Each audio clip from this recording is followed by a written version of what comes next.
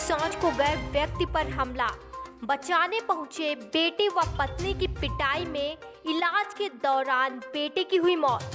आपको बता दें कि कोरांव थाना क्षेत्र के नगर पंचायत कोरांव में गोविंद नगर निवासी रामचंद्र ओझा, उम्र 55 वर्ष, पुत्र स्वर्गीय उमा शंकर ओझा अपने खेत में मंगलवार सुबह 9 बजे के लगभग घर के पीछे खेत में गए थे। तभी अचानक चिल्लाने की आवाज़ सुनकर मौके पर पत्नी शिव कुमारी ओझा व बेटा अनिल कुमार ओझा की पिटाई कर दी गई, जिसकी सूचना कोरांव पुलिस को शिव कुमारी ओझा द्वारा दी गई।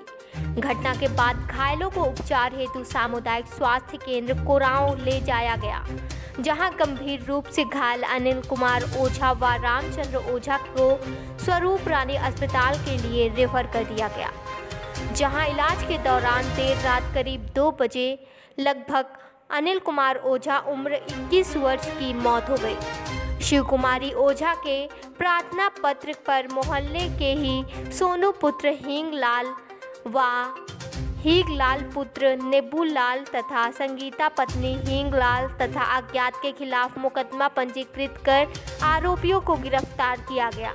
वहीं उप जिलाधिकारी संदीप कुमार वर्मा व इंस्पेक्टर को रामचंद्र भान सिंह के समझाने बुझाने के बाद मृतक अनिल कुमार ओझा के शव को पोस्टमार्टम के लिए भेज दिया गया और रामचंद्र ओझा तथा पत्नी शिव कुमारी ओझा तथा मेडिकल सामुदायिक स्वास्थ्य केंद्र कोराव में कराया गया, जहाँ से उन पति पत्नी को जाँच हेतु कालविन अस्पताल के लिए रेफर कर दिया गया। आरोप है कि उपरोक्त आरोपीगण रामचंद्र ओझा के खेत के समीप स्थित खेत को बटाई पर लिया था, जिसके मवेशी आए दिन इनकी फ़सलों को नुकसान किया करते थे, जिसकी शिकायत एक सप्ताह पूर्व भी की गई थी, जिस पर मौके पर पहुँची पुलिस ने समझा बुझाकर मामले को शांत करवा दिया था।